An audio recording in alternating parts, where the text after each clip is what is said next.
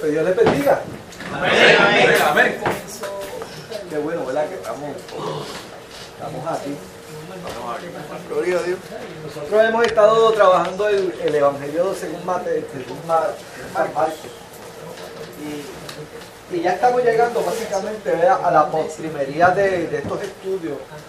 Y Marcos, pues básicamente, eh, más o menos en su, en, su, en su estrategia de tratar de llevar un mensaje claro a esta audiencia romana, eh, ya está llegando el momento donde él va a comenzar a presentar eh, la calidad de seguidor que necesita o, la calidad de ese, de ese seguidor que recluta eh, Jesús, ¿verdad? Él va a estar hablando ahora sobre qué vamos a hacer con esos milagros que hemos nosotros presenciado.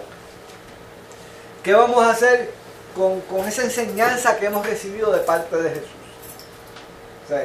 Eh, ¿cuál, es, ¿Cuál debe ser nuestra respuesta a todo eso que hemos visto, hemos sido eh, testigos, ¿verdad? Eh, tiene que haber alguna reacción, ¿verdad? Y él ya ha estado presentando más o menos diferentes reacciones de la audiencia que los rodea, ¿no? Pero ya de ahora en adelante él se va a concentrar en sus discípulos. Él quiere enseñarle a sus discípulos eh, la calidad de servicio que él exige de ellos, ¿verdad? Y para eso eh, va a comenzar a profundizar, como hicimos la semana pasada, ¿verdad? Que la semana pasada eh, estudiamos que ya él iba a comenzar a profundizar un poquito más en sus discípulos. Y por eso vemos a que esa revelación que está en, en progreso, ¿verdad? Esa revelación progresiva que él está enseñando a sus discípulos acerca de quién era él, quién es el verdadero Mesías. O que, que ellos deberían de pensar de ese Mesías que estaba frente a ellos, ¿verdad? Eh, y cómo ellos tenían que imitarlo a él. Y esto era cosa difícil, ¿verdad? Era cosa difícil hacerlo. Eh, y la semana pasada él estaba diciendo que si alguno quiere venir en pos de mí, que Niéguese a a sí mismo, Tome tome su cruz y siga. O sea, son tres requisitos, tres, tres requerimientos que ya Jesús, eh, de hecho, habíamos hablado de que esa era la segunda, revela- la segunda gran revelación, ¿verdad? La primera era cuál? Que ese Mesías no era el Mesías que ellos estaban esperando, ese líder político, ese líder militar que los iba a, a liberar de ese yugo romano. No, ese no era el Mesías que, que, que- que venía, ¿verdad? El Mesías era otra cosa completamente diferente. Ese Mesías tenía que sufrir, ¿ah? tenía que ser perseguido, tenía que pasar por qué? Por el, por el Via tenía que pasar por la crucifixión, porque porque era necesario, era necesario Él eso, padeciera. era necesario que padeciera, ¿verdad? Eh, Para que de esa forma pudiese que pudiese ofrecer su vida en sacrificio sí. por nuestro pecado. Eso era, eso era algo que ellos tenían que entender. Pero era el propósito. Tenían que entender. Por lo tanto, de esa misma forma, él ahora va a tratar de que, de que sus discípulos puedan entender que así como el Mesías ofreció su vida por los demás, pues así ellos también tienen que, que- tienen que hacer lo mismo. Y cuando uno le va a enseñar ese tipo de cosas a alguien, oiga, la cosa se torna un poco difícil, ¿verdad? Porque lo primero que tiene que haber, que tiene que haber una negación, una negación de parte nuestra. Para que nuestro servicio sea un servicio aceptable delante de Dios, tiene que, lo primero que tiene que haber es una negación a nuestra propia voluntad. Y hoy día, y hoy día llevar ese mensaje, pues como nosotros no tenemos esas persecuciones, ni tenemos, ni tenemos esas preocupaciones y estamos viviendo aquella vida que ellos estaban viviendo, pues podemos, podemos entenderlo. Pero cuando ellos estaban viviendo eso en carne propia, de un gobierno romano que los estaba, que cualquier cosa que dijeran los mataban sin dar razones, pues e- ese mensaje era bien fuerte. ¿no? Ay, era bien fuerte y ellos estaban esperando ¿verdad? que el Mesías los liberara. De hecho, casi todas las profecías. Fíjense que es interesante que en la Biblia habían profecías claras Sí. acerca del sufrimiento del Mesías. Sí, sí. Mas, sin embargo, ellos se enfocaban más en qué? En el día de Jehová. Cuando venga el Mesías, Cuando venga ese día de Jehová, ¿qué va a pasar? Pues los enemigos de Jehová iban a ser destruidos por completo. Y eso precisamente era lo que ellos estaban esperando. Eso precisamente era lo que ellos estaban esperando. Por lo tanto, una cosa es lo que tú esperas y otra cosa es lo, es lo que es la realidad de Dios, que era lo que estábamos discutiendo la semana Víctor, pasada. entonces, lo que hablan, lo que hablan los profetas, ellos van a hacer caso nomás. Porque lo que pasa, porque lo que pasa es que a veces nos concentramos en lo que nos gusta concentrarnos. Eh, eso Ah, nos gusta que concentrar. Nos, gusta concentrarnos en que Dios te va a proveer, en que Dios te va a guiar tu camino, ah, que- en que Dios sea- va a bendecir tu lo que sea casa. música al oído. Es lo fácil. Dios va a bendecir tu casa y así hay muchas predicaciones. Si usted se pone a, a- a analizar las predicaciones, la mayoría de las predicaciones son las que gustan al oído. sí. No Pero la, predicación de, de que tú tienes que someterte a la a obediencia delante de Dios, la predicación que tienes que negar tu voluntad para que se haga la de Él, Sí. ¿ah? Ese tipo de predicación tú no la escuchas muy a menudo. Porque no es muy, no es muy agradable al oído, ¿no? Y muy no bien. Entonces, entonces, y, y, y- o le damos un matiz negativo, que era lo que yo les decía la semana pasada. Eh, a veces creemos que esto de negarse a sí mismo, de tomar la cruz y seguirle a Él, imitándole a Él, es, le damos un aspecto negativo. Y eso no es negativo, al contrario. Cuando nosotros logramos entender que al negar nuestra propia voluntad y hacer la voluntad del Padre es lo que nos, es lo que nos va a traer realmente que la verdadera paz y la verdadera felicidad a nuestra alma. Amén. Lo que pasa es que es una cosa difícil de entender. Es difícil de entender. Como diríamos ahora, las cuestiones psicológicas que se dan en las empresas, Cristo está rompiendo con los paradigmas que tenían en ese momento los discípulos. Y cuando nosotros logremos entender que al negar a nosotros, a nosotros mismos y hacer la voluntad de Dios, nos va, nos va a hacer bien a nuestras ganancias. Amén. Va a ser ganancia a nosotros, ¿verdad? Siempre. Cuando podamos entender eso, entonces vamos a, vamos a tener, entonces vamos a experimentar lo que él, lo que él, lo que él dijo y, y, y tendré que y tendréis vida en abundancia. Ahí es que entonces vamos a entender lo que es la verdadera, la verdadera felicidad de servirle a Dios. El verdadero sacrificio, el verdadero servicio que Él, que él exige de nosotros, ¿verdad? Y por eso es que tenemos que tener eh, mucho cuidado, ¿verdad? Porque a veces las palabras a veces suenan un poquito, eh, un poquito fuertes, pero no, no, al contrario. Lo que queremos es que ¿verdad? Él le habló fuerte a los discípulos le habló la realidad a los discípulos. De hecho, en una ocasión dijo, si alguno no me quiere seguir, pues se puede coger su motete y irse para su casa. Él nunca le escondió a los discípulos. El Señor se está yendo. No. ¿Y ustedes y ustedes también se quieren vas a decir algo, Roberto? sino que los profetas, eh, por el caso de Jeremías, él decía algo y no le creían porque habían como 10 o 12 Que decía lo contrario. decían lo contrario. Y lo que era lo que le gustaba al rey. Exacto. A rey le gustaba lo que los Ah, diez eh, profetas le decían, eh, pero lo que decía Jeremías, eso no, eso no era, eso no era, eso no gustaba. Entiendo, menos. entiendo que Jesús hablaba claro. Y esto es lo que hay. Pero en la forma en que lo decía, en la manera en que lo decía, infundía amor. Eso lo vamos a estudiar, eso lo vamos a estudiar hoy. Eso lo vamos a estudiar. ¿Cómo vamos a transmitir esto? Eh, fíjense que si usted va, vamos a estar buscando eh, Mateo, Ma- Marcos capítulo 9. Vamos a ir a Marcos capítulo 9, versículos 33 al 37. Y quiero que mantengan, se mantengan en la idea, en la, en la idea del sacrificio, ¿verdad? Del sacrificio. Eh, cuando hablamos de sacrificio, cuando hablamos de negación, estamos hablando de voluntad, de nuestra propia voluntad. O sea, cuando yo hablo de negar mi propia voluntad, ¿a qué se refiere Cristo cuando habla de negarse a sí mismo? ¿A qué se refiere? O sea, Vamos a ver. que, mis cosas sean después de la él. Ah, Tiene que ver con algo de eso. ¿Qué más? Cuando hablamos de que Cristo dice, niégate a ti mismo, ¿a qué, a qué- a qué es lo que se está refiriendo? Vamos a ver. O sea, que tú tienes que menguar y...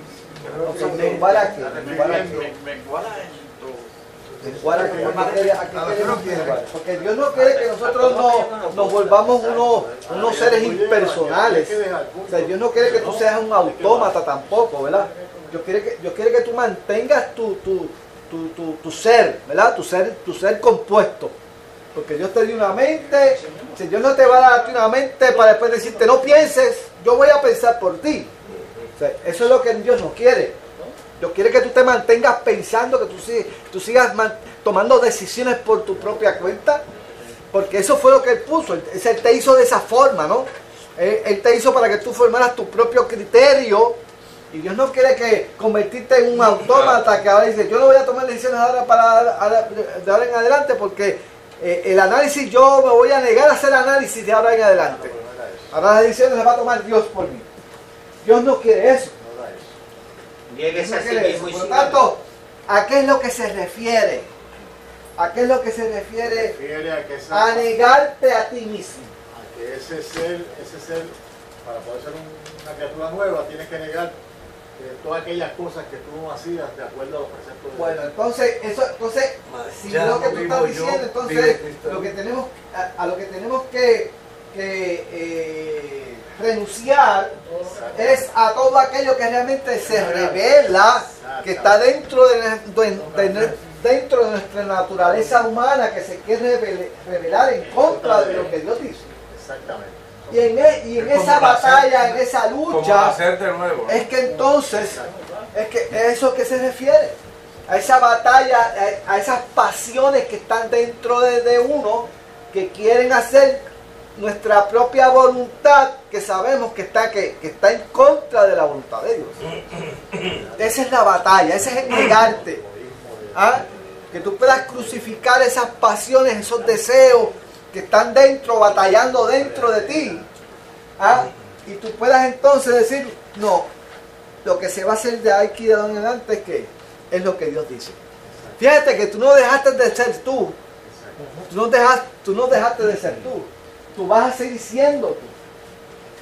Pero ahora tú te vas a dejar reír porque Cambiaste tu perspectiva. Exacto. Tú vas a dejar que entonces el Espíritu de Dios sea el que domine, el que domine tus decisiones. Tú vas a apelar al Espíritu de Dios, tú vas a apelar a su sabiduría, tú vas a apelar a su dirección. ¿Para qué? Para que entonces te dé- eh, tú escuches su voz y la tomes en qué? En consideración, porque tampoco Él va a tomar decisiones por ti. El Espíritu de Dios no va a tomar decisiones por ti. La decisión finalmente la vas a tomar tú. Pero cuando tú le pides al Espíritu de Dios, que antes tú no lo hacías, Señor, ¿cuál es tu voluntad? Me preocupa saber tu voluntad. Amén. Quiero saber qué es lo que tú quieres hacer. ¿Qué es lo que hay dentro de mí que se opone? ¿Ah? Escudriña mi corazón. Escudriña mi mente. Para que yo pueda que agradarte en lo que yo haga. De ahora en adelante. Eso precisamente es lo que es negarnos a nosotros mismos. Pablo dijo, ya no vivo yo, mas vive Cristo en mí. Correcto. Exacto, y yo entiendo, y lo puedo garantizar con mi vida y con mi cuello, que todos y cada uno de los que estamos aquí nos hemos negado a sí mismos. Bueno, exacto. Cuando se- ¿Qué hacemos aquí? estamos en ese proceso. Estamos en ese proceso porque si tú dejas, si tú dejas, si tú dejas Una sentirte señal. por tu corazón un viernes por la noche, señores, un viernes por la noche. Estamos en el- Dale para atrás para que tú. En el ¿Dónde camino tú estarías? Todavía nos falta, todavía nos ¿Dónde tú falta. estarías un viernes por la noche esta hora? Cállate la boca. Ah, ¿entiendes? O sea, fíjense cómo y fíjense y fíjense lo feliz que tú estás aquí. Lo tranquilo que tú estás aquí. ¿Vale la pena o no vale la pena hacer la voluntad de Dios? Vale la pena. La mejor, la mejor, eh, la mejor prueba es esta. Mira, yo quiero compartir algo sobre eso. Eh, Escúchame. mi esposa y yo, y eso es noble, salir con tu esposa un viernes por ahí a dar una vuelta. Mi esposa y yo pues acostumbrábamos los viernes, ¿verdad? A salir y demás, y ahora que estamos en esta etapa, que estamos solitos y enamorados nuevamente, pues, ¿qué pasa? Que yo venía de vez en cuando a la escuela, al estudio, siempre le, digo escuela bíblica.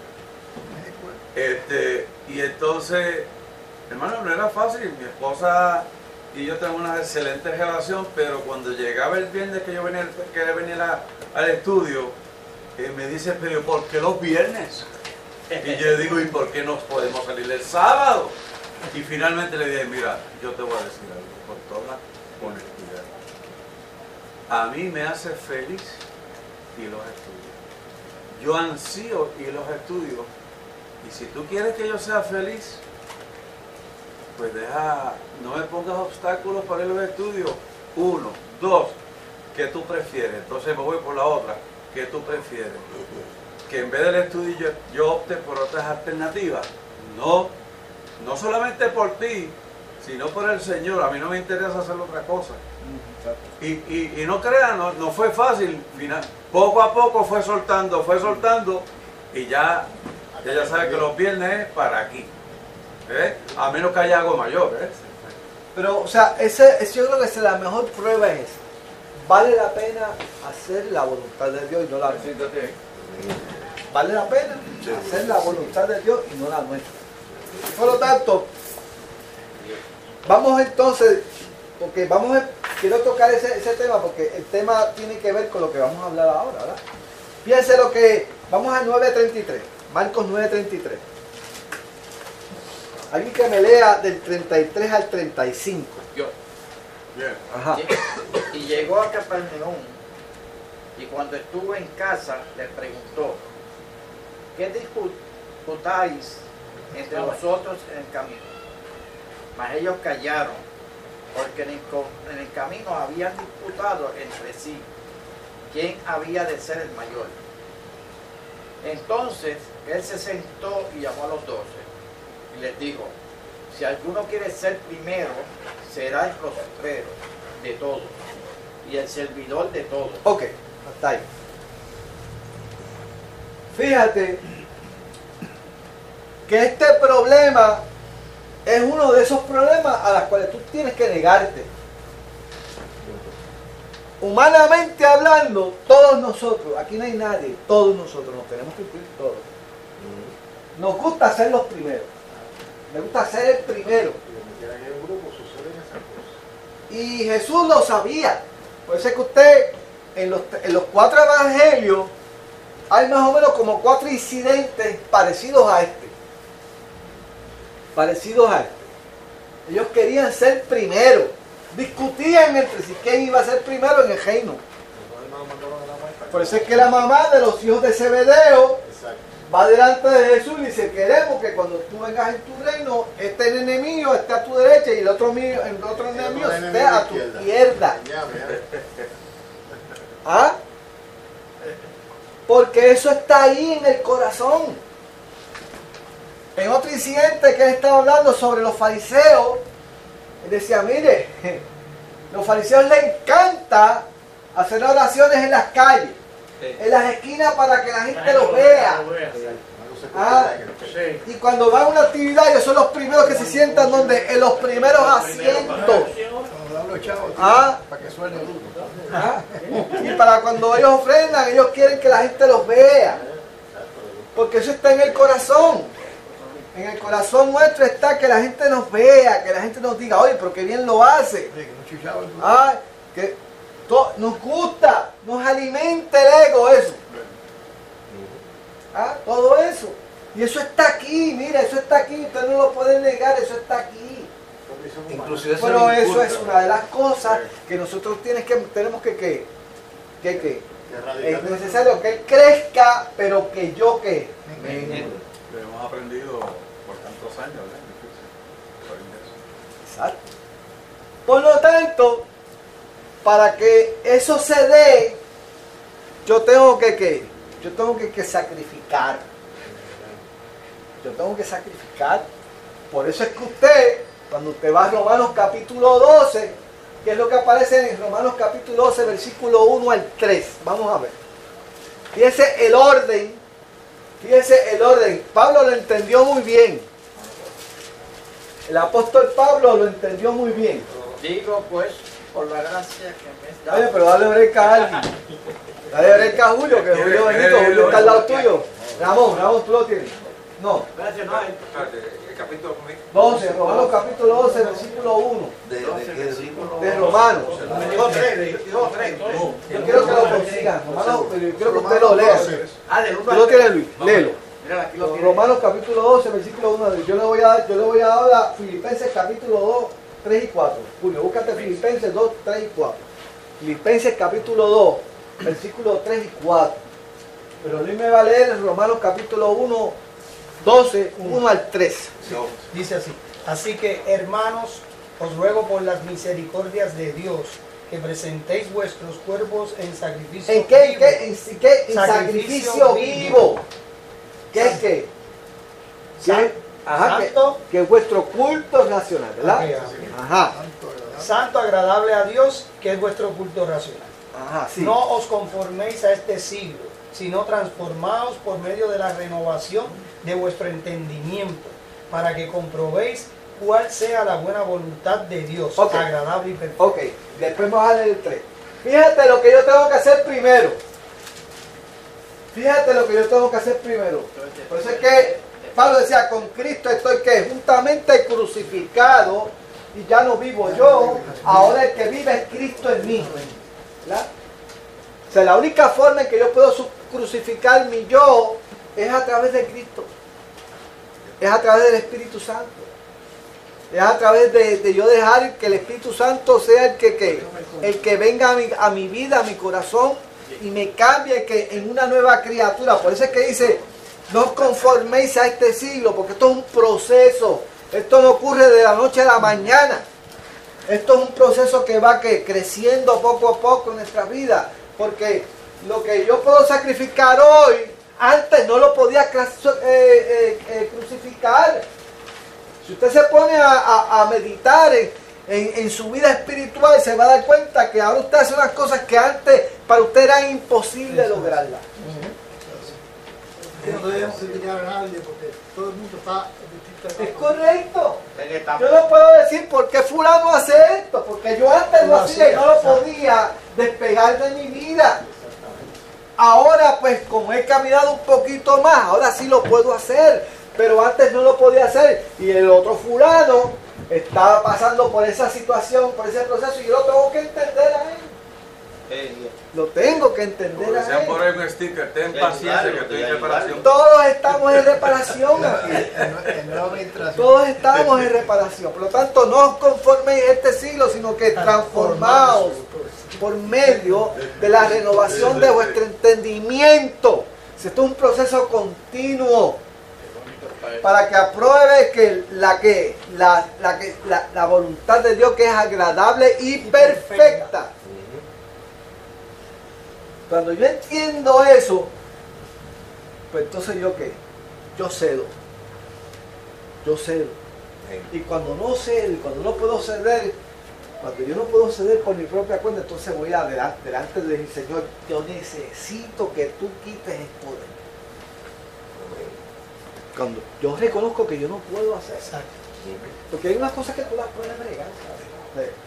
Hay unas cosas que tú puedes bregar, pero hay cosas que Un a veces cuartito que por ahí, están el ahí, corazón. están ahí, oiga, el que, están ahí, que tú dices que esto, esto, mira que yo he tratado y esto no hay forma.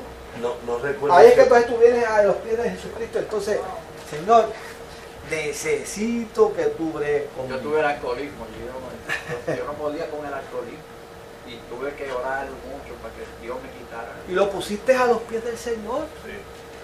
Y lo pusiste a los pies del Señor. ¿Y qué pasó? Dios comenzó a trabajar con tu vida. ¿Lo hizo de la noche a la mañana? No, fue un proceso. Fue un proceso. Fue un proceso. Y todos nosotros, una, otra, o que sea, Dios está trabajando continuamente con nosotros. Yo he escuchado mucho decir que, Señor, déjame a mí hacer lo que yo puedo hacer, pero lo que yo no puedo hacer, por favor, hazlo. Pero tú lo tienes que reconocer. Tú tienes que decirle al Señor, Señor, esto yo no lo puedo hacer. Él quiere que tú le digas, Señor, yo te entrego esto. Te lo entrego lo que yo no puedo hacer. Pero le, le gusta que tú se lo digas. Porque cuando tú se lo dices, los estás reconociendo. Eso es parte del proceso. Por eso es que está importante tú de ir delante de Dios y decirle, Señor, esto no lo puedo lograr. Necesito que tú trabajes conmigo en este asunto. En este asunto. Y Dios va a comenzar a trabajar contigo. Oiga, yo quiero compartir algo de esto que estamos hablando. Cuando yo estaba alcoholizado, al otro día que me levantaba, al otro día que uno se, se, se levanta mal con ese, con esa cosa que concho, como yo volví de nuevo a caer. Porque yo, yo cuando salí del trabajo no quería beber. Pero hice así, así, así, toda la, toda la cara de. Y me, hoy no voy a beber. Y, Y volvía y lo daba la curva otra vez. Pero el otro día cuando Acabando de decirlo, ya estaba en la barra. pues entonces yo guiando y, y, arrepentimiento y andaba día. ese remordimiento. Oígame, y guiando yo oraba, con, oraba, le oraba a Dios. Y eso pasó después de, después de convertirte. Ah, no, no, no, antes de convertirme. Antes de y de- y de- y después de convertirme. Y pasó también después de Sí, sí, convertirte. ese, ese, pero fue un proceso que eso era increíble. Y eso es así, señores, eso es así. Eso es así. Ahora, yo, yo, quiero añadir también que solo no se puede hacer. Solo no, no, Nunca. es un Cristo que Puede ser. que- Es eso precisamente lo que tenemos que decirle a la gente. Que lo que tú no puedes hacerlo por tu propia cuenta, Cristo lo puede hacer, porque nosotros somos testigos de, de ese poder. Por eso, por eso que el Corito decía, yo soy testigo del poder de Dios. Aleluya. Muchos milagros Él ha hecho en mí. ¿Ok? Muchos milagros Él ha hecho en mí. A veces creemos que los milagros son... eh, nosotros como que estamos limitados, y eso es lo que estábamos hablando la semana pasada, nos limitamos a los milagros de, las sanidades extraordinarias, nos olvidamos de, los milagros de, que se calma la mar, no- nos olvidamos, o enfocamos en ese tipo de milagros, mire, el, el mayor milagro, el mayor milagro es el corazón transformado por el Espíritu de Ese es el mayor milagro. Aleluya. Ajá. Víctor, eh, pensando entonces al otro lado de, de la moneda, eh, hay mucha gente que se le hace difícil. Ya nosotros estamos en el proceso de la limpieza, de la reparación. Aquellos que no han aceptado a Cristo, dar ese paso de fe, se torna bien difícil porque ya de antemano ellos están pensando todo lo que tienen que dejar. Nosotros tenemos que, Dios nos tiene que ayudar a entrar de alguna manera para que se convenzan de que lo vas a dejar con la ayuda de Él. Eso, y ese es el mensaje que tenemos que llevarle a ellos.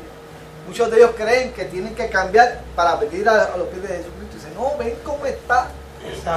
Ves, ven cómo está. Cómo estás. Dios se va a encargar de, que, de poner las piezas en su sitio. En su sitio. Eso es lo que yo les digo, lo hemos convertido cuando en el Salón de los Diáconos. Dice, Mira, tú has tomado la mejor decisión de tu vida, pero las cosas no van a cambiar mañana. Eso va a depender de la relación que tú tengas con él. Eso es una- un proceso que va a comenzar. Tú le diste el permiso a Dios para que comenzara a obrar contigo desde hoy. Deja que Él ponga los muebles en el lugar que Él quiera ahora, de ahora para abajo en tu casa. Es un proceso que no se acaba. Eso es un No proceso se que acaba. Por eso es que a ti te dicen aprendiz, discípulos. Somos discípulos. ¿Ah? Porque siempre seremos discípulos, siempre seremos aprendices, nunca dejamos de aprender. A mí me fascinan dos personajes bíblicos, porque en ellos yo me sustento como ser humano, como ser humano. Te Sí, Pablo y Moisés. Eso es así. Pablo Todos se- que de donde estaban, Dios los transformó. como lo ha hecho con todos nosotros. Sí, por eso. Y, y no, y en la forma en que lo transformó. A, a nosotros, nosotros nos quedamos en, en los tobillos, al lado No, de él. Exactamente, lo mismo que Dios hizo con Moisés lo está haciendo contigo. Ese- no podemos pensar así. No. Lo mismo que Dios hizo con Pablo, lo mismo que Dios hizo con Moisés, lo mismo que Dios hizo con lo que sea, Dios lo está haciendo con cada uno de nosotros. Sí. De hecho, no tenían, no se, no se, no se sentían con cualidades como tú dices ahora mismo. Ellos mismos se sentían con cualidades. No, no. Este, pero el, yo- el yo- caso pero de Pedro, personajes para el caso de Pedro es dramático porque. Pedro tuvo ese, ese entrenamiento intensivo del maestro ahí de frente Sí. Y después hizo lo que hizo, negó al maestro, papá, papá. Estaba todavía en reparación y fue un gran ministerio el que llevó a ese- al final de esa transformación. Se- se- vemos el fruto, vemos el resultado. Digo yo. Y cuando tú te pones, y cuando tú te miras a ti mismo y dices, wow, pero lo mismo que Dios está haciendo con, que lo hizo con Pedro lo está haciendo conmigo. Y digo yo, Ajá. gracias Padre, porque no puedo tener a Moisés, ni a Pablo a mi lado, ninguno de nosotros, ¿No? pero todos nosotros tenemos un maravilloso pastor. Moisés. Y tenemos, y, y nos ayuda. Moisés Román Inspira al Espíritu. Tenemos modelo. Y tenemos modelo. Y por eso es que el cuerpo de Cristo tiene que ser tiene que ser diverso. Todos somos diferentes. Pero tú dependes de aquel. Y aquel depende de ti. Y nos dependemos todos ¿verdad? Amén. por lo tanto todo, todo es- ese negar comienza con qué con el sacrificio que yo tengo que exponerme delante de quién delante de, delante de Dios, ¿verdad? Ahora, ¿para qué es eso? Léete el tres ahora. El tres. Digo, pues, por la gracia que me es dada, a cada cual que está entre vosotros, que no tenga más alto concepto de sí que el que debe tener, sino que piense de sí con cordura, conforme a la medida de fe que Dios repartió a cada uno. Que piense que no tenga más alto concepto de sí Romanos 12, que el que debe tener. Fíjense, esto no es casualidad, porque Jesús primero dijo, el que quiera seguir en pos de mí, niéguese a sí mismo. así mismo. toma su cruz y siga. Eso es lo primero, eso es Romanos capítulo 1. Pero eso es necesario para que entonces yo que no, yo piense de mí con que con cordura. Es necesario lo primero para que entonces yo pueda estar donde, donde debo estar. Para, para que yo piense realmente quién yo soy delante de Dios. Porque Él sabe que dentro de nosotros hay un ego, que hay un espíritu que quiere revelarse, que quiere ser, que quiere ser grande, que quiere ser reconocido. ¿Ok? Y eso está aquí, yo lo tengo que mantener donde? Debajo del pie. Búsquese de Filipenses capítulo 2, versículos 3 y 4. ¿Qué dice Julio? El 2 y 3. 2, 3 y 4. Por tanto, El cap- el capítulo 1, ¿verdad? Capítulo 2. Capítulo- ya, tercero. 2, el versículo 3 y 4. Bien, por tanto, Nada si hay alguna consolación Ese es el 1. en Cristo, El 1, léete el 2. El 2. el dos.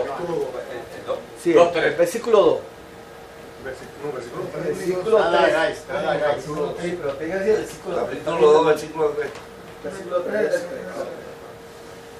Nada hagáis por nada contienda. hagáis por, por contienda o por vana- vanagloria, antes bien con humildad, estimando cada uno de los demás como superiores a él mismo. No mirando cada uno por lo suyo propio, sino cada cual también por lo de No otro. mirando quién vino hoy, sino que ponga Anda, usted un buen en su corazón. Hay que hacer todo. vinieron con pistola y todo. Antes yo tocaba un timbre. Suelta, antes- amigo, suelta, amigo.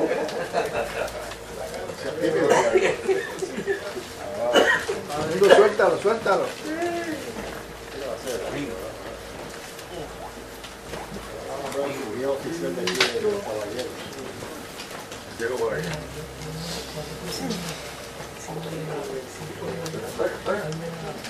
Dale, para acá, para que no te- para que no te apiques.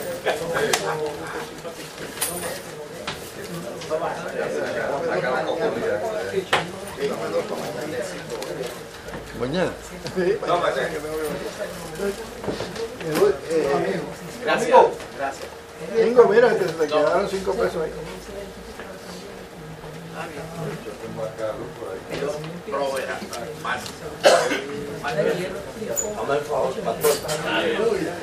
Ok, esto es importante. Lo que, lo, lo que él está leyendo es importante. Porque precisamente, precisamente, tiene que ver con lo mismo. Y Pablo, Pablo, obviamente Pablo está dirigido por el Espíritu de Dios. Y por eso es que en Romanos capítulo 12, versículos 1, 2 y 3, él comienza con la cuestión del sacrificio y termina con la cuestión de, que, de atacar la grandeza, el ego de, el ego de nosotros. Fíjate que él está hablando a la iglesia. Él está hablando a la iglesia. ¿Ok? Pero ahora en el capítulo 2 de Filipenses, él va a decir, nada hagáis por contienda o vanagloria, porque él sabe que eso siempre está ahí. Y está hablando a gente creyente. Nada hagáis por contienda o vanagloria, antes bien con qué? Con humildad. ¿Ok? No mirando cada uno por lo suyo propio, sino por qué? Por lo de los otros. Y entonces, después de eso, ¿qué va a hacer Pablo? ¿Qué va a hacer Pablo? Es decir, ahora van a seguir que el modelo de quién? De Cristo. ¿Ah? El que no escatimó ¿ah? el ser igual a Dios como cosa que aferrarse, sino que se, se anonadó a sí mismo tomando qué? Forma de siervo semejante a los hombres. Y estando en la condición de hombre, se humilló a sí mismo. ¿ah? Y fue que a través de la muerte de cruz, ese, ese ejemplo, ese modelo, es lo que nosotros tenemos que imitar. Lo que nosotros tenemos que imitar. Para que entonces nuestro sacrificio sea un sacrificio eficaz delante de Dios. Sea, sea un sacrificio llevó. aceptable delante de Dios. Lo llevó al punto máximo. Sí. Y todo lo que nosotros hagamos, porque estamos hablando del discípulo, hoy estamos hablando del discípulo, ¿verdad? Para que yo ser un discípulo acepto, para que mi servicio sea un, servicio acepto delante de Dios, agradable, como olor grato delante de su presencia, tengo que dejarme siempre, mire, por lo más insignificante que sea, yo tengo que hacer las cosas como Dios manda. Lo que yo estoy haciendo, le agrada a Dios, no está el ego mío metido por el medio. ¿Ah? Lo estoy haciendo para mi propia, vanagloria, para que la gente me diga que bien lo hace. O lo estás haciendo para la gloria del Señor. Todo tengo que pasarlo por ese, tap- por ese tapiz. Lo tengo que pasar todo por ahí, por el tamiz, perdón, por ese tamiz. ¿Ok? Porque eso es importante. Eso es importante. Estaba pensando cuando hablas de eso que yo tengo admiración por el talento. Aquí tenemos uno que Dios da músicos, cantantes, cristianos. Pero qué mal me cae cuando ellos dicen, ¿por qué no le dan un aplauso fuerte al Señor? Es buscando su aplauso, no el del Señor. El Señor no necesita aplauso, necesita alabanza. Entonces, yo sé lo que pienso en que a veces lo piden porque pues tienen esa mentalidad de an- anterior de, de que si no es un aplauso no lo hice bien. Y Pero cuando, no sé si Luis piensa lo mismo, que él está en eso. y cuando uno- mire, mire, cuando uno hace las cosas para el Señor, el pueblo salta en alabanza. Usted no tiene que empujar al pueblo a hacer cosas. El pueblo mismo que Por eso. cuando usted hace algo para Dios, el pueblo, el pueblo se levanta en alabanza. No hay que empujar a nadie a alabar a Dios. Usted alabe a Dios y olvídese del resto. Amén. El pueblo va a caer en bendición. Amén. Olvídese de la gente que está frente a usted. muy bien. Usted dedíquese a, a darle culto a Dios. Amén. Olvídese de gente, de la gente. Y usted verá que la gente va a caer en bendición. Va a caer en bendición. Usted no tiene que buscar mucho trabajo, no tiene que hacer muchas cosas para olvídese de eso. Póngase a adorar a Dios delante de él para que usted vea como todo el mundo se cae en bendición. Eso es así. Eso es. No tiene que hacer, no tiene que hacer mucho para eso. Ahora, por lo tanto, lo primero que tiene que pasar un discípulo para que usted sea un sacrificio aceptable, tiene que qué? Tiene que ofrecer ese sacrificio delante de Dios. Sacrificio, sacrificio vivo, santo, agradable a Dios, que es vuestro culto racional. Tiene que haber negación de nuestra parte, ¿verdad? Ahora, ¿qué dice ahora el 36 al 37? ¿En dónde? William. ¿En dónde? Bien, Marco, vamos, vamos en Marco, Marco, Marco. Estamos en Marco, yo no puedo, pa- Ah, yo no que- puedo que pasar estamos- un dedo porque se me pierden. Estamos en Filipenses Estamos en Marco 33. ¿Para qué? Damos unos paseitos, pero volvemos otra vez y aterrizamos en el mismo sitio, al mismo aeropuerto, ¿sabes? 9.30, era el 9.36. William, ¿lo tienes? Sí. Y tomó a un niño y lo puso en medio de ellos, y tomándole en sus brazos les dijo, el que recibe en mi nombre a un niño como este, me recibe a mí. El que a mí me recibe, no me, no me recibe a mí, sino al que me envió. Ok. ¿Por qué Jesús hizo eso? Porque acuérdate de la enseñanza de Jesús. ¿Qué es lo que Jesús está enseñando? Que se crea, ¿no? Que crea. La humildad. Está diciendo, aquí no hay nadie grande que quiera ser, que sea- que quiera ser grande, se tiene que ser pequeñito.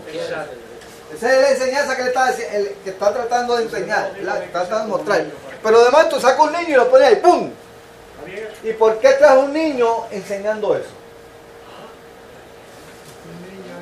¿Por qué Jesús trajo un niño para enseñarse que la gran, para enseñarle a él que la grandeza en el reino es, es otra cosa? Es la que tú piensas. ¿Por qué? Inocente como el niño. El no tiene esas aspiraciones. Fíjate que el niño, el niño va a representar a quién? A nosotros. El que recibe un niño me recibe a mí. O sea, nosotros, él dice, ustedes van a ser ahora niños. Ahora, ¿qué tiene un niño? ¿Qué cualidad tiene un niño que debe tener un discípulo? Mucho. ¿Como cuál? Pelea con otro y al ratito están jugando otra vez. Perdona. El niño perdona. No guarda rencor. ¿Cuántas veces tú peleaste con el vecinito de- del lado de tu casa y a los cinco minutos la mamá te dijo, "Oye, vente para acá que tú no vas a volver más para allá? No Y la maldad. mamá y las dos mamás estaban enojadas por años y los dos nenes jugando a, a- a- a la media hora después. No guarda rencor. Usted va allá otra vez y buscaba al muchacho y por ya no jugaban juntos y después peleaban otra vez. Y es porque ¿Cuántas no veces tiene pasó eso? maldad. No tiene El niño no tiene maldad. Perdón. ¿Qué otra cualidad tiene el niño que debe tener un discípulo? Aprende. Es educable. El corazón siempre está dispuesto a aprender. Es una esponja. Capta. Cree. ¿Verdad? Que los niños creen. Confía, confía. No ven, Confían. lo que no ven un adulto lo ven ellos. Confían. Los que si creen que Superman. Ah, lo esperan. Maldad. Esperan.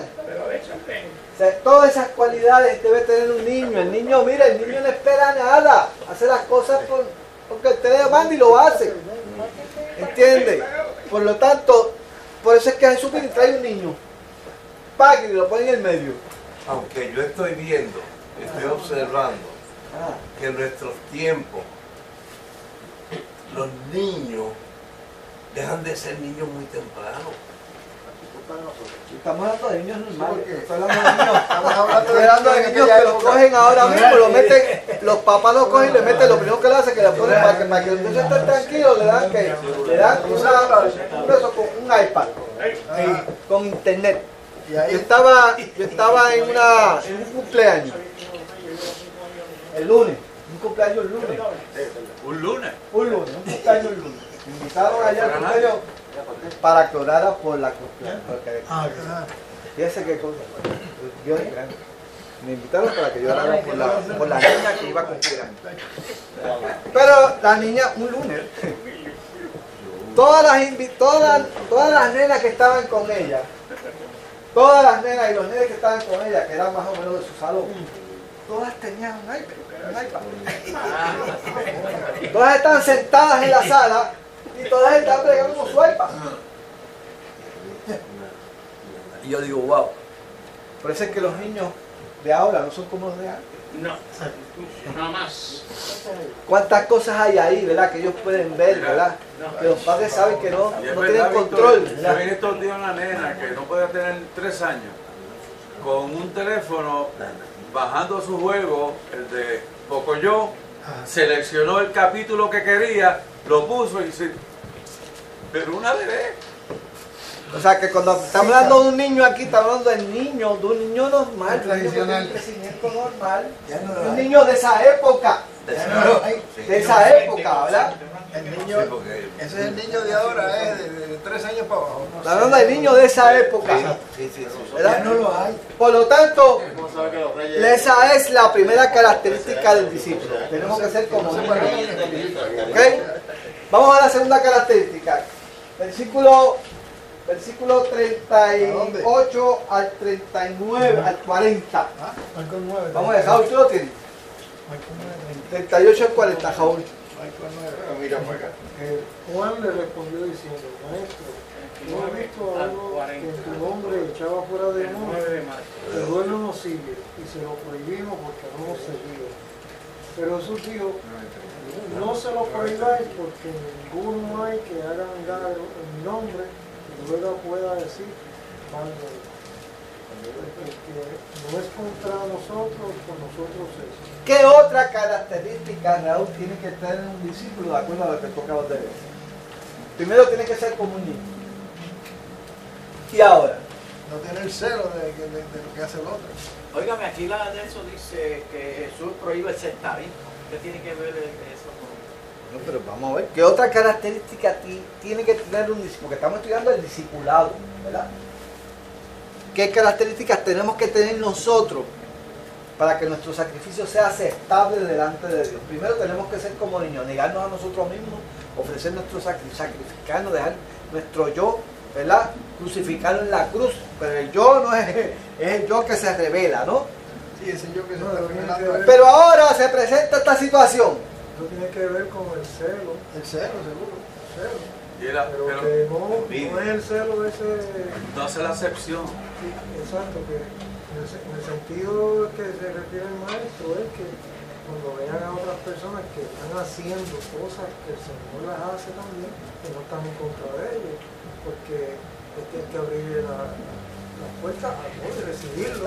Nosotros, porque el problema es que nosotros nos establecemos un patrón y, y creemos que las cosas tienen que ser de esta forma, porque así que yo siempre las he hecho y así porque me enseñaron y así que se tiene que predicar el Evangelio y no se puede salir de ese patrón porque Dios no obra de otra forma.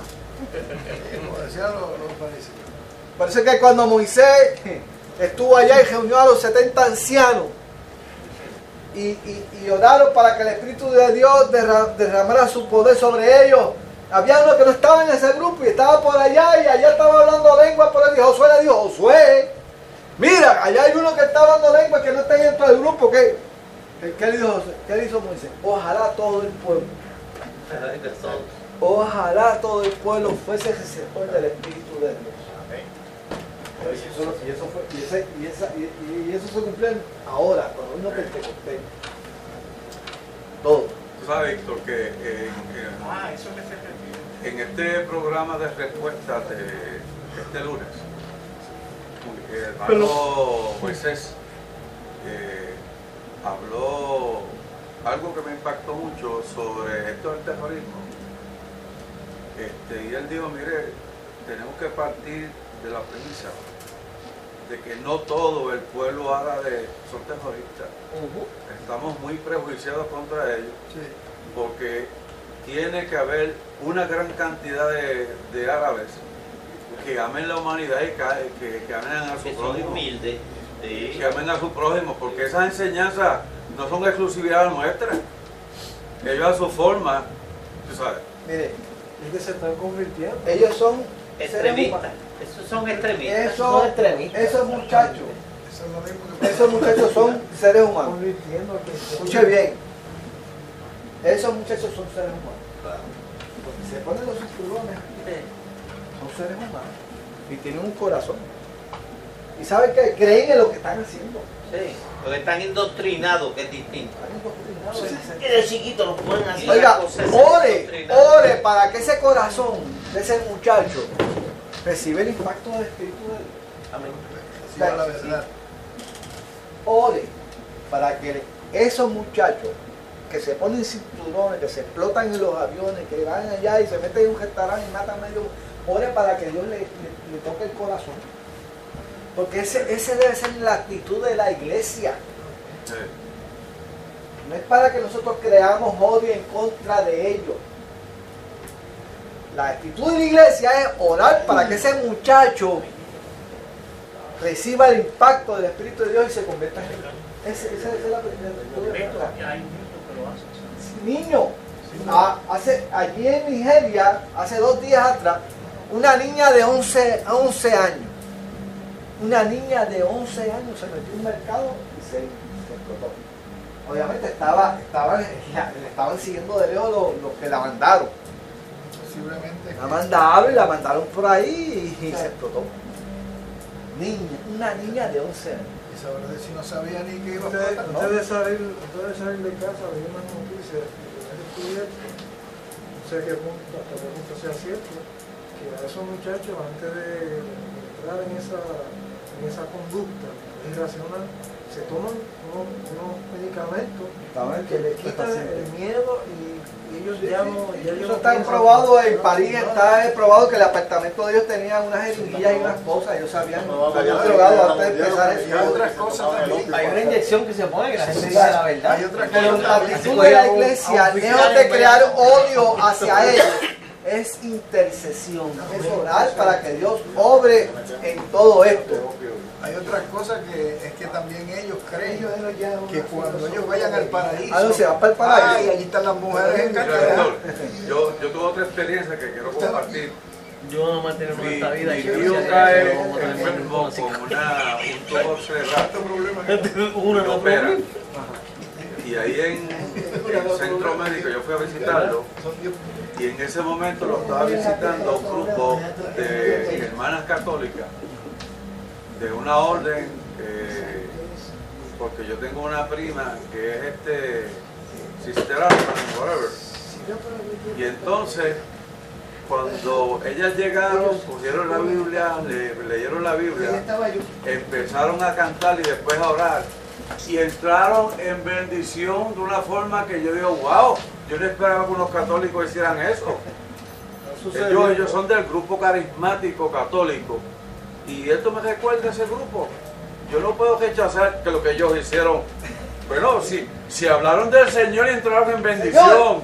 Mira, son, de, son marianas. Vamos a mandarle fuego que descienda sobre. No, no. El que no es contra mí, contra mí. conmigo es. Esas son las cosas que a veces nosotros no podemos entender. Ah, Yo quedé asombrado cuando esas muchachas empezaron a, a hablar en Mire, lengua. Y, y vamos a alabar al Señor y, vamos a y- empezar y a ver- sanidad. vamos a empe- empezar a ver cosas de esa, de esa naturaleza. Sí. Usted, tiene que, usted tiene que mantener la mente abierta a lo que el Espíritu de Dios va a hacer. Dios va a hacer cosas que, mire, usted se va a quedar, usted se va a quedar, usted se va a quedar asombrado de las cosas que, que usted va a ver. Mantenga su, su mente abierta. ¿Quién hubiese, quién, quién hubiese pensado que Dios iba a utilizar a este muchacho que está aquí en su, en su eh, Tabla. hobby de selfie para llegar a la vida de los muchachos? Nadie. Usted le explica, usted le, le- le habla a alguien y dice, no, muchachos, no es de Dios. ¿Verdad que sí? Muchos pensaban así.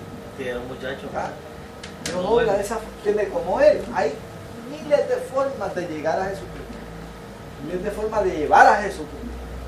El que no está nosotros vamos a empezar a ver cosas, nosotros vamos a empezar a ver muchas cosas. Sí, y tenemos que mantener nuestra mente abierta. Lo importante es que, que, que Cristo sea anunciado. ¿Cómo Dios lo hace? El discípulo no puede ser que, no puede tener que, tiene que ser tolerante. Nosotros tenemos que tener tolerancia. Tolerancia. Dios le habla a la gente a través de que de la música de salsa. Dios le habla a la gente a través de que del deporte del selfie. Dios le habla a la gente a través de la música que La que sea. música de La que sea. la que sea. No lo hace. No lo hace. Vamos para la tercera, vamos para la tercera. Tercera cualidad. 41 al 42, vamos a ver. 41. 42, 41 y 42. Y cualquiera que os diere un vaso de agua en mi nombre, porque sois de Cristo, de cierto os digo que no perderá su recompensa. Cualquiera que haga tropezar a uno de estos pequeñitos que creen en mí, mejor le fuera si se le atase una piedra de molino al cuello y se le arrojase en el mar. Ok, vamos. Domingo Misla. Mismo. Tú acabaste de leer algo. Que hay dos opuestos y dos extremos. ¿Cuáles son? que uno es que, que se meta con, con un angelito, como un niño, es mejor que se ahorque. Ese es uno de los extremos. ¿Cuál es el otro extremo? Ese es un extremo. ¿Cuál es el otro? El otro es que, que dice que el que le, dé un vaso de agua en mi nombre, Ajá. que no perderá. Ok. Por lo tanto, hay dos extremos. ¿Cuáles son? El que haga tropezar. Y Ahí, daño. ahí está el, El que hace está daño, el el que extremo de que el tropiezo. El que haga tropezar Está al el extremo de que De aceptación. de hacerlo algo insignificante o que algo insignificante que está que que haya hay bendición de parte del Señor. Algo pequeño que hay una bendición, pero que hay algo que malo, grande, tropiezo que yo pueda causar. Yo, yo como discípulo, ¿qué es lo que está, qué es lo que está diciendo Jesús ahí? Yo como discípulo puedo ser agente de bendición Pero haciendo también- algo pequeñito y también- pero puedo hacer también agente de qué? De destrucción. destrucción. Ah, si hago que, cosas que no que, que no debo hacer. O sea, por lo tanto, ¿qué características tiene que tener el discípulo? Número uno, ser oidor. ¿Qué me enseña eso, esos dos extremos a mí? ¿Qué me enseñan? ¿Cuál- ¿Qué me enseña? Cuidadoso. que ser Que prudente. tengo que tener, tengo que ser extremadamente cuidadoso con lo que hago. ¿Por qué? Porque puede ser de edificación lo mismo que de destrucción. Porque yo tengo que entender, tengo que concientizarme de que lo que yo haga va a tener un impacto tremendo en otras personas. Por lo tanto, yo tengo que tener sumo cuidado en cómo yo actúo, en cómo yo hablo, ¿ah? cómo va a ser mi vida espiritual. ¿Ah? Porque puedo ser tremendamente, puedo ser una tremenda bendición contigo, pero de la misma forma puedo ser de tremenda ¿qué? destrucción para otros.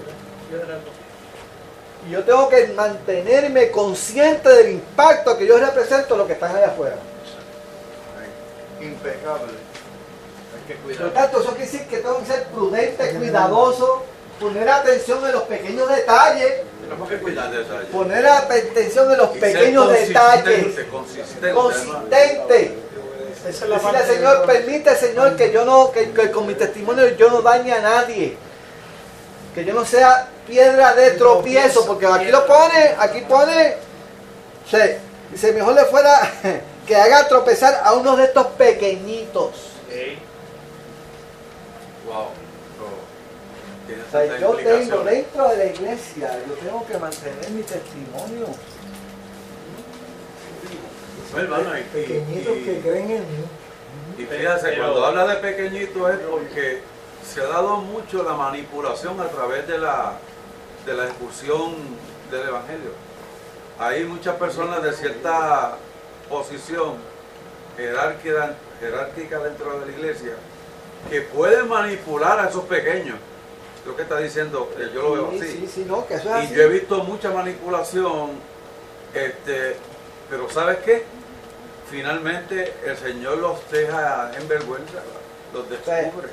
Tú tienes en tus manos el poder de dar, hacer algo poquito por el niño y bendecirlo.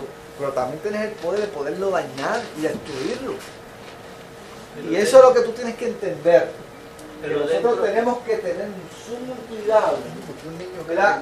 Y eso es lo que, eso debe estar constantemente en nuestra mente. Pero dentro, dentro de la iglesia es fácil, es fácil dar testimonio, pero el verdadero testimonio hay que darlo fuera. En todos lados. Porque le hacemos más daño a nuestra iglesia y al Señor cuando afuera damos el mal testimonio. Eso quiere decir que en todo, en todo lugar. Mira, Víctor, y En a, a nosotros, te lo digo por, por mi experiencia, siempre nos están velando. Y A ver dónde eh, nos tira la cascarita de guineo. Es, A ver si reparamos. es el punto focal en su trabajo. En su trabajo. ¿eh? En su trabajo. Usted, usted es el punto focal en su trabajo. En su vecindario. Aquel vecino que nunca habla con usted. Lo está velando. Está velando. Está velando. ¿Sabe cuándo es? Está esperando. ¿Tú qué vas a Que cuando pase algo alrededor de su vecindario, Ah, te lo va- dice, oye, fulano, el fulano aquel, el papá del fulano murió y este señor no ha ido a verlo. Y eso que es cristiano. Y dice que es cristiano. uno grande que O dar. sea, usted tiene una gran responsabilidad dentro de su vecindario. Que cualquiera, cualquier en su calle, ¿quién es el primero que debe estar allí? Usted. Usted es llamado a ir a ese lugar y dar que ir A poner allá y qué pasó, qué, qué pasa, en qué puedo ayudar. Ah, necesitas oración. pacificador. Ah, pacificador. O sea, usted no sabe lo que usted representa. Y de esto que se trata. ¿Qué ¿Cuál es la responsabilidad que yo tengo? Yo tengo un grande privilegio.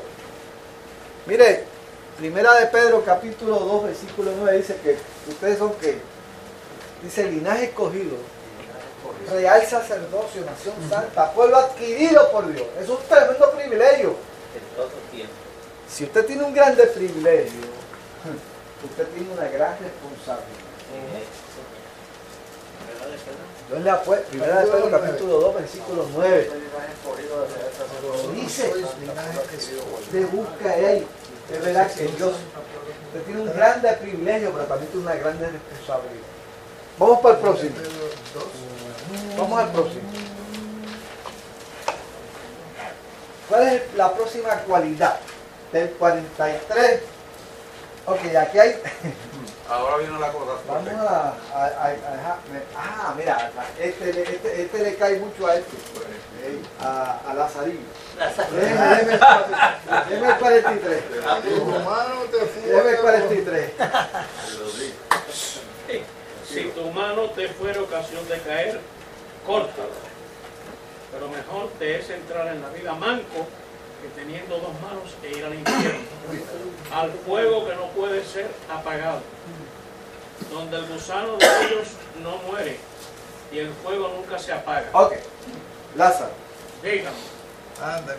Tú como discípulo de Cristo, tú como discípulo de Cristo, y, y con el versículo que acabamos nosotros de leer, ¿verdad? De la grande responsabilidad que tenemos nosotros como discípulos de Cristo. ¿Ok? ¿Qué otra cualidad tú entiendes que tú acabas de leer ahí? Tenemos que tener nosotros. No podemos pecar ni ¿Con qué se relacionan las manos? ni tocar.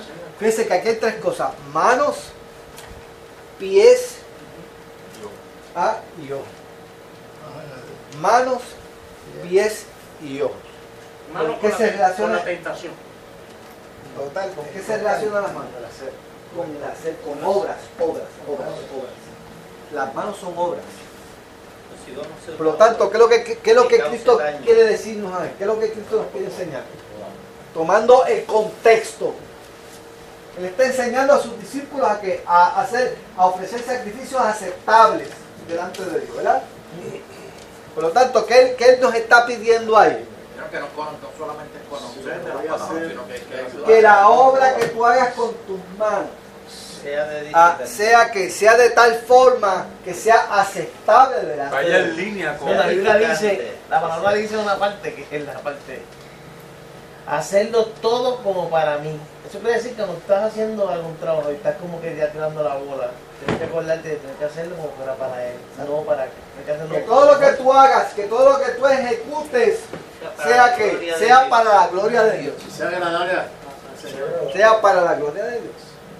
Y no para tu propia gloria. No tropieces. Si las obras que tú estás haciendo te están haciendo tropezar, trabaja con eso. Si la motivación que hay en ti para tú obrar es otra, tienes que trabajar con eso. ¿Ah? Si estás buscando Si reconocimiento. estás buscando reconocimiento, Ah, tienes que hacer los ajustes necesarios para que eso no ocurra. honestamente ante el Señor y levanto mis manos, no busco ni protagonismo ni reconocimiento. Por eso te digo, por eso es lo que Dios nos quiere enseñar, ¿verdad? Ahora, cuando hablamos de los pies, vamos al de los pies. ¿Quién, quién quiere leer el pie ahora? Llevar la palabra. Santini, el pie. Dame el pie. Si tu pie, pero léelo. Ahí. Y si tu pie te fuera ocasión de caer, córtalo. Mejor te es entrar a la vida cojo que teniendo dos pies eh, ser echado en el infierno. ¿Con qué relacionamos el pie? La mano con las obras. ¿Qué? Caminar. ¿Con qué? Por- Con, por- con Caminar. caminar, con, Caminar por con la el testimonio. Testimonio. Con el testimonio. ¿A ¿Qué dónde quiere te metes? ¿A dónde te metes? ¿Qué quiere decir el ¿A dónde fueron los testimonio? ¿Ah? O sea. Tú puedes estar haciendo obras buenas, pero tu testimonio no necesariamente está en armonía con lo que tú estás haciendo. ¿Ok? Escucha. Por lo tanto, ¿qué es lo que nos está enseñando el Señor? Que mi testimonio tiene que estar acorde, tiene que estar en armonía con mi obra.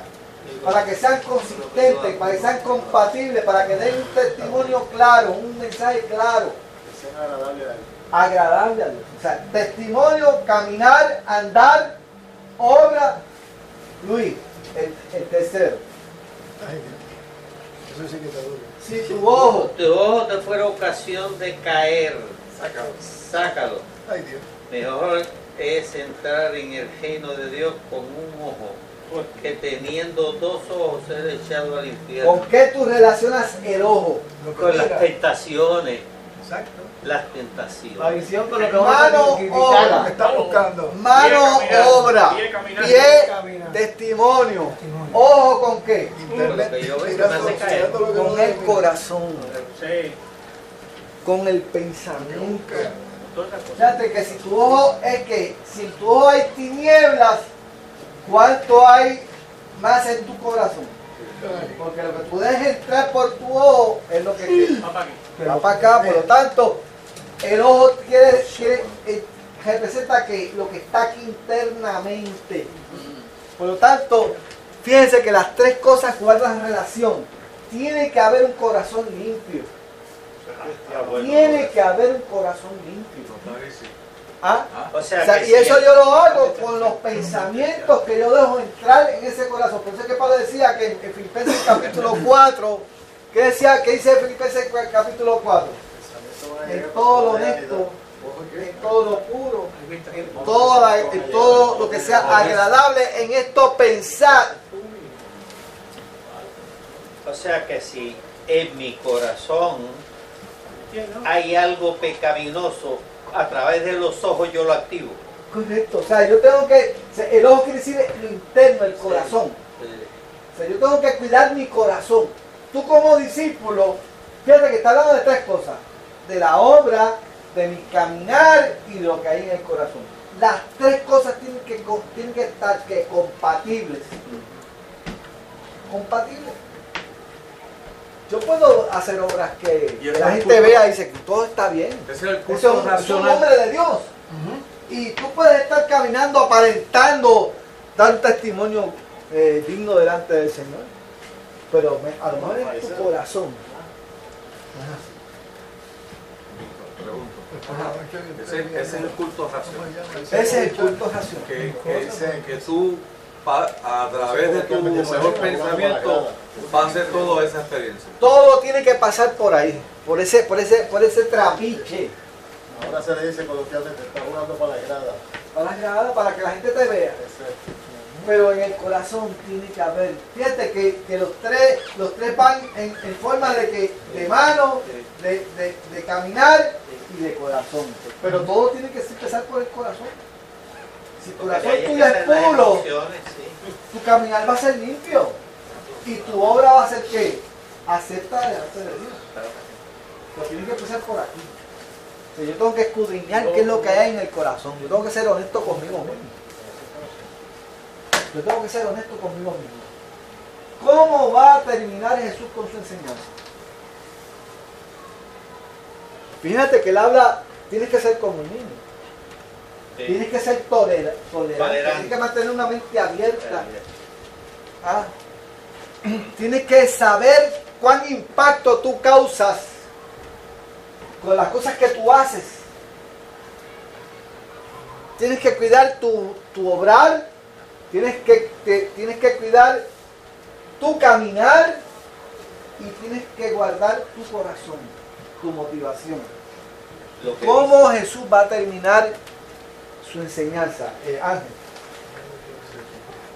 Porque todos serán, todos serán salados con fuego, y todo sacrificio será salado con sal. Buena es la sal, mas si la sal se hace insípida, ¿con qué la sazonaréis?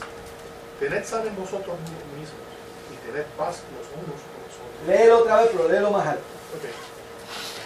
Escuche bien, todos escuche serán bien. salados con fuego, y todo sacrificio será salado con sal. Todo sacrificio será salado con sal. ¿Qué más?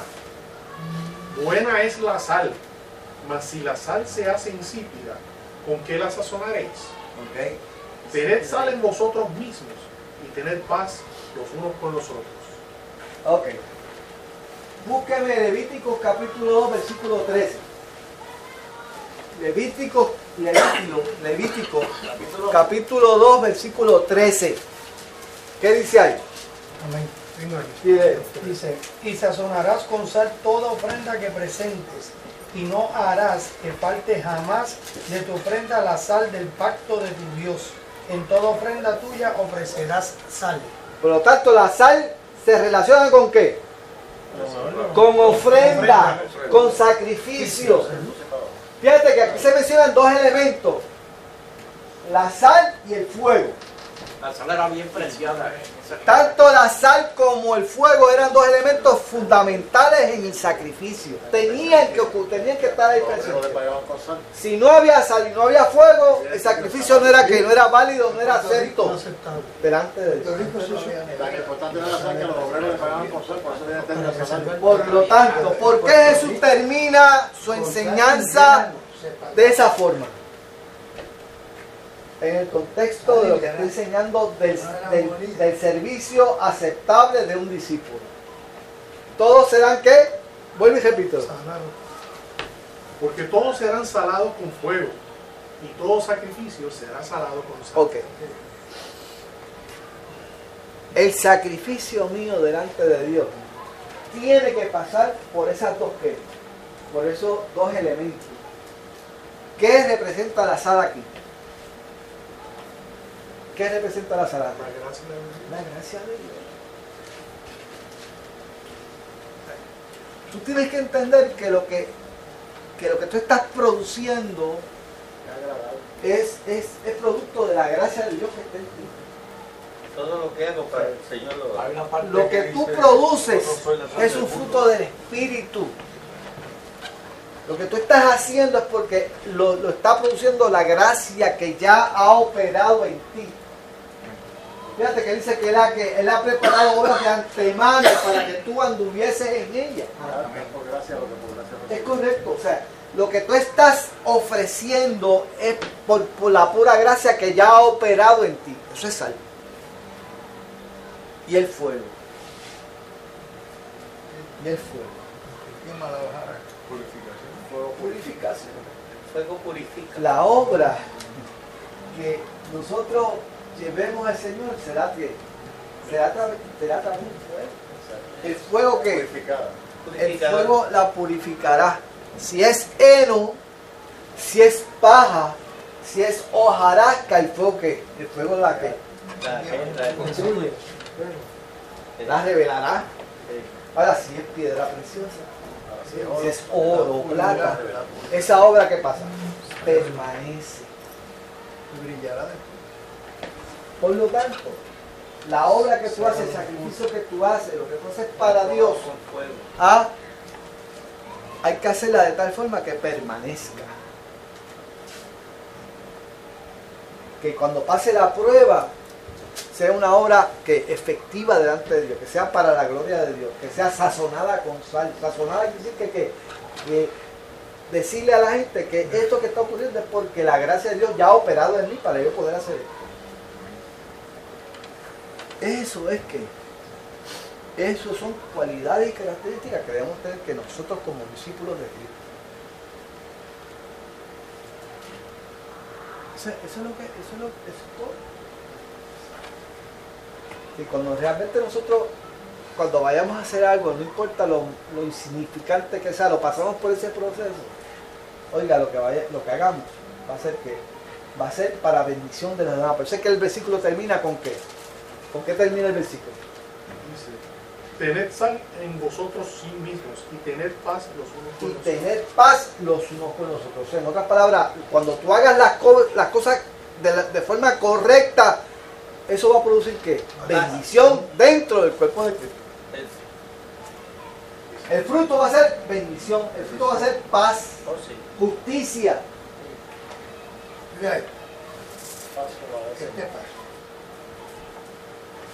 Donde el gusano de ellos no muere y el fuego nunca se apaga. ¿Qué quiere decir eso? Eso quiere decir que cuando tú haces una obra, ¿qué era el Jena? ¿Qué? ¿De dónde viene la palabra infierno? ¿De dónde sacaron esa palabra de infierno? De sufrimiento. El sufrir. ¿Sabe lo que, de dónde viene esa palabra? El infierno viene de la palabra ajena. ¿Y sabe lo que era el Jena? Era el valle cerca de, cerca de Jerusalén, donde qué? Donde se sacrificaban los hijos amorosos. Pero que eventualmente se convirtió que en lugar de qué? Del basurero de la ciudad. Y allí se quemaba la basura. Y todos los desperdicios de la ciudad llegaban a ese lugar, a ese valle. El valle de Ligena, el valle de Linón. Y ahí pasó a, que, a, pasar a lo que era infierno, ¿verdad? Porque ahí siempre había fuego. Y siempre había pestilencia, y siempre había gusanos. O sea, en otras palabras, cuando tú haces una obra para Dios y no permanece, ¿qué pasa? Hay pérdida. Se convierte en pérdida. El infierno se convierte en pérdida. Y tú no quieres que las cosas que tú hagas para Dios se conviertan en pérdida. Contrario, que perdure. ¿Y cómo va a perdurar algo cuando, cuando tú hagas algo para Dios y tú quieres que perdure? ¿Qué tienes que hacer? Pásala por el tamiz, por el proceso de, por el, proceso de, de, de- ese escudriñar. Estoy haciendo las cosas para Dios, para la gloria de Dios. Fíjense que todo viene simplemente por una discusión entre los discípulos.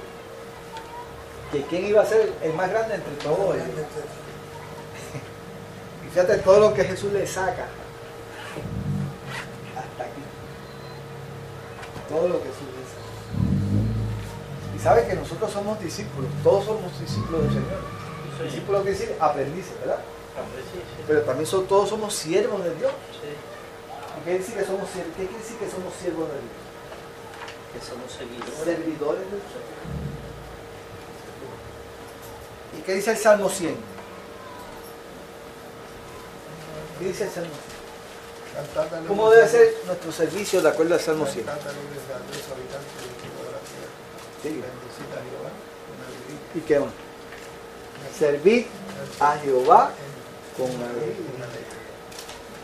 Servid a Jehová con alegría. Y cuando hacemos las cosas así, nuestro fruto va a ser alegría, va a ser gozo, va a ser contentamiento. Va a producir en ti gozo, satisfacción en lo que haces. Llenura. Esa es la bendición que el Señor La da cuando uno hace. sí, sí, Cuando tú haces algo para Dios, lo que le va a producir Sí, en ti alegría, alegría. alegría, porque lo está haciendo para Él. Ahora, si no lo haces así, lo que trae es que confusión, contención, ¿ah? muchas cosas. Pero cuando lo haces para Dios, lo que produce en ti alegría, Ahora que regocijo. qué difícil es llegar a eso. O sea, esa preparación para recibir, o sea, recibir es- es- ese, ese gozo, ese proceso es bien, bien complicado. Es cuestión de mantenerte consistente, Señor. Cada cosa, Señor, esto es para ti. Esto es para ti. Todo este esfuerzo, todo este, todo este, esta logística es para ti. Yo sé que es difícil. Cuando a esta gente le dice, mira, tienes que, tienes que, vamos a tener una actividad en cierto lugar, y eso conlleva un esfuerzo. Ustedes no saben la- lo que hay que coordinar. Primero, si, si toda la gente puede estar en ese lugar, a esa hora, si hay alguien que tiene, si hay alguien que está disponible para el sonido, si tenemos el permiso, si tenemos vamos a tener ve- 20 cosas hay que coordinar. Y en todo ese proceso se puede perder que de perspectiva el verdadero motivo de lo que se va a hacer. En ese proceso se pierde, se puede perder la motivación. Porque uno está pendiente de una cosa, el otro a otra, y cuando tú vienes a ver, estás eh, desenfocado de lo que vas a hacer. ¿Qué es el propósito de lo que se va a hacer en aquel lugar? ¿Qué es lo que se quiere hacer allí? ¿Por qué, se está- por qué nos estamos movilizando? ¿Cuál es la realmente, qué, o sea, qué es lo que se está buscando? Que la gente nos mire, que tocamos bien, Cuando eso o que, o que el mensaje llegue al corazón de un necesitado. es que, es que cuando uno busca su, eh, eh, eh, eh, la satisfacción de uno, lo que trae es frustración. Pero cuando nos enfocamos realmente en el, en el meollo del asunto, lo demás que lo demás fluye. Cuando todo el mundo está enfocado en lo que en lo que se supone que sea, lo demás fluye. Porque todo el mundo está enfocado en lo que se quiere hacer, lo que se quiere alcanzar. Yo tengo un ejemplo de hace 20 años para atrás. Pero habla, habla alto, O sea, un, un testimonio de hace al- algunos años atrás. testimonio. ¿Cuál es el problema? Ya, tíralo, De tíralo ahí. una persona que vino. Tíralo, no, que- que Lázaro- Lázaro no lo escucha, Lázaro. de una persona que vino a una iglesia. En esa iglesia cantó una persona que tenía una voz tremenda. Y cuando cantó todo el mundo aplaudió en cantidad. Todo el mundo estaba contentísimo. Por la noche, casualmente, en el culto de la noche, vino un señor con una guitarrita y cantó la misma canción. Y no lo tuvieron. No, porque estaba todo el mundo llorando. ¿Ah, sí? Estaba todo el mundo llorando. Hubo esa unción. Ah, ¿Entiendes? Y uno dice, ¿cuál fue la diferencia? El primero cantó bonito, con mucha voz y vestido de bien chévere. El señor con la guitarra tocó corazón.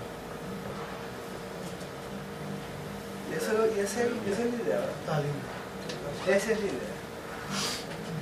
Preguntas, comentarios. tú sabes que una, yo tengo un compañero que está en un coro en la iglesia y yo le hice la ilustración que yo una vez escuché de esta persona que, que va al cielo y le dice la presencia del Señor, este, eh, pues yo en la iglesia estaba en un coro y, el Señor dice, un coro.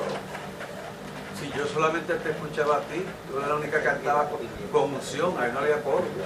Y eso es parecido a lo que, a lo que dice él, tú sabes. Es la unción. Como cante. Y en todo lo que uno haga para el Señor. ¿no? Exacto, exacto.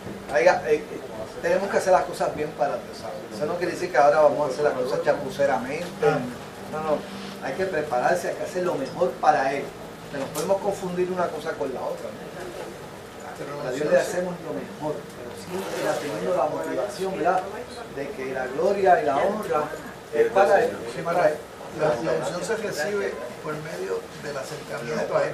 Correcto. No hay otra forma. Vamos, vamos a de- ver.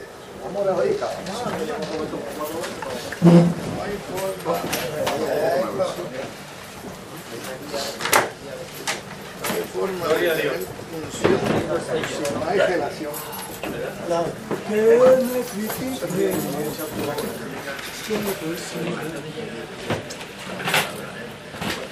a.